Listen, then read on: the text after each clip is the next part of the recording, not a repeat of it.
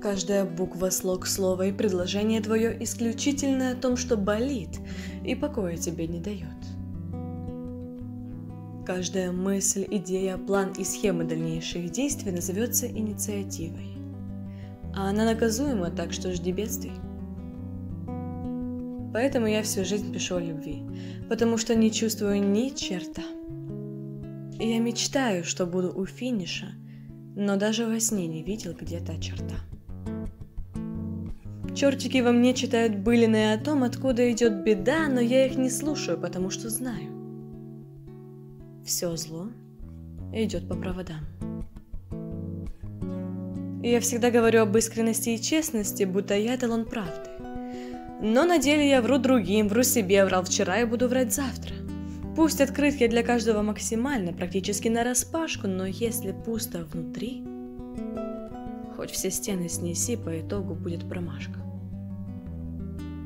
Да, улыбку к лицу проще пришить, чем объяснять, почему опечален, когда общаешься о бытовухе со встречными, отдаляется момент отчаяния. Так и крутишься в чертовом колесе, но фортуну здесь не повстречать. Лучше никому ничего не доказывать, не говорить и просто молчать. Не бросайте словами. Таков мой завет, ты слышал его раз сто. Но если нужно выбить тысячу в баскетбол, то кольцом будет мой блокнот. Да, мы грешны здесь все, но проблема одна. Искупления не существует.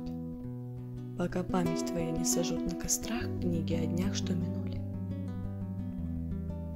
Я могу бесконечно писать о боли и кричать «У меня талант!», но если писать изо дня в день без пауз, станет ясно. Я графоман. Это тонкий баланс. Сумеет ли кто по-правому рассудить? Или мне хочется без конца писать, или в груди без конца болит.